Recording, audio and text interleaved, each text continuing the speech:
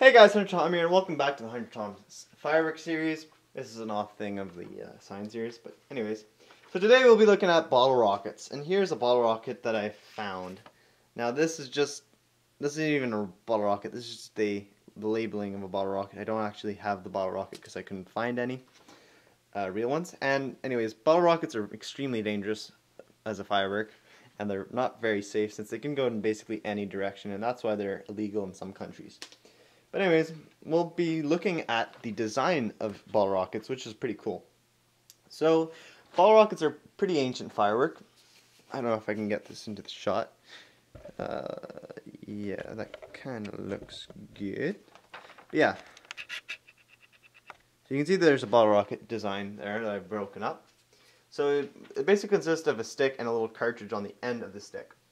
So the stick goes up and you've got this little kind of mine's just a piece of paper, but usually have like a plastic or paper uh, tube there that's filled with a fuse, a rocket mix, a delay fuse, and a blocker, and a charge at the end of the stick. Now, it can either, the rocket mix could either be black powder or, I don't know, some rocket mix like potassium nitrate with sugar. I'm not sure exactly what they put inside of it, but this is for educational purpose purposes, so we'll just keep it kind of, you know, not too in depth.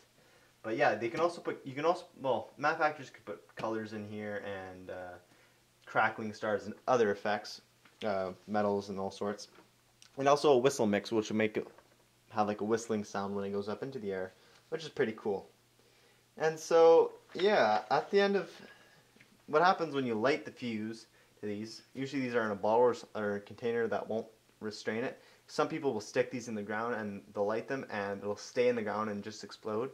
Uh, the reason why is because uh, there's too much friction on the stick. They either bury it too deep in the hole or they don't put it in the hole where it can kind of glide through easily. Yeah.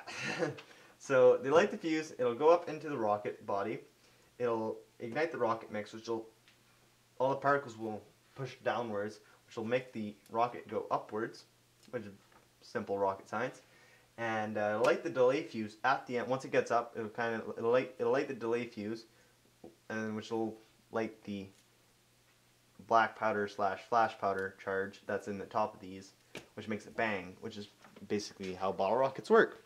So I hope you guys found this video helpful, and I hope you guys understand how these work. Uh, I find them a pretty cool uh, type of firework, and I uh, hope you guys enjoyed the video because I think that'll be it for me today. Anyways, I'll see you guys in the next one. Take care. Bye bye.